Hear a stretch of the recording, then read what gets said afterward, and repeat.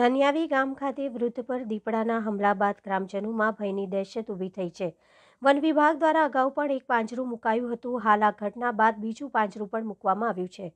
વડોદરા શહેર નજીક ધનિયાવી ગામમાં છેલ્લા એક મહિનાથી દીપડાને પકડવા વન વિભાગ દ્વારા એક પાંજરું મુકાયું હતું, જો કે બુધવાર રાત્રે ધન્યાવી ગામમાં રહેતા એક વૃદ્ધ જેઓની ઉંમર આશરે પંચોતેર વર્ષ હતી, તેઓ ઘરના વાડામાં સૂઈ ગયા હતા. તે દરમિયાન મોડી રાત્રે દીપડાએ હુમલો કર્યો હતો, જેઓને સારવાર માટે એસએસસી ખસેડ્યા હતા. હાલ તેમની તબિયત સારી છે.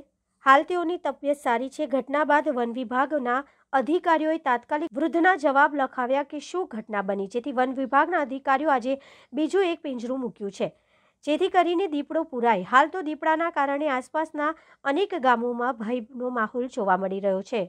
મારા ગામની મેં દેશજનું વાતાવરણ છે કે વહેલી તકે આ ફોરેસ્ટ અધિકારીઓ શ્રી પિંજરાની વ્યવસ્થા કરે અને ગામમાં બધાને ભયનો માહોલ છે કે જેથી વહેલી તકે એનો બંદોબસ્ત કરે એમ. વન વિભાગના અધિકારીઓએ પિંજરા તો મૂકેલા છે, પણ જ્યાં સુધી પિંજરામાં પૂરાય ના ત્યાં સુધી ગામની અંદર ભયનો માહોલ રહે છે. આજુબાજુના ગામથી પણ અમારા ગામની અંદર સ્કૂલે અભ્યાસ કરવા છોકરાઓ આવે છે. એ ચાલીને આવે છે, એમની ઉપર પણ હુમલો થઈ શકે છે અને આજુબાજુમાં જે અમારી જમીનો છે, જેનો પાક લેવાનો સમય થયો છે, પણ અત્યારે મજૂરો પણ નથી આવતા. અને માલિકોથી પણ સીમમાં જવાતું નથી. તો વન વિભાગના અધિકારીઓને અમારી અરજ છે કે વહેલી તકે આ દીપડાને પાંજરે પૂરે, આ પિંજરાઓમાં આવે એવી અમને કોઈ શક્યતા લાગતી નથી. જેથી એનો કોઈ બીજો રસ્તો કરી ને વહેલી તકે આ દીપડાને પાંજરે પૂરે એવી અમારી માંગ છે ગામજનો